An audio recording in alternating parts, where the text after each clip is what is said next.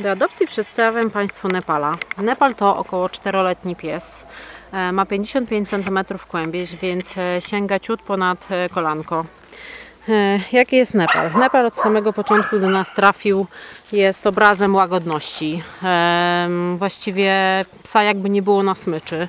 E, Jest cichy, jest spokojny, jest zrównoważony, w ogóle nie ciągnie, e, idzie ładnie u boku opiekuna, e, lubi towarzystwo e, ludzi, ale myślę, że nie odnalazłby się w domu z małymi dziećmi, e, gdyż e, boi się jeszcze takich nagłych hałasów czy, czy nagle podniesionej ręki.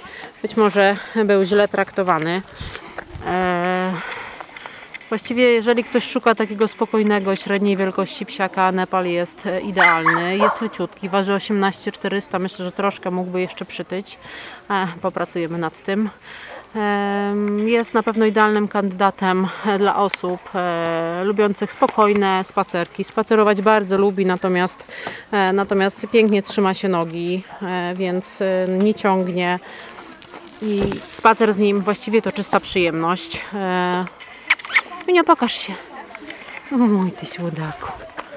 Polecamy Nepalka do adopcji. Właściwie możemy mówić o nim w samych superlatywach. W boksie jest jednym z najspokojniejszych, więc idealnie również odnajdzie się w roli drugiego czworonoga w domu. Polecamy Nepala do adopcji.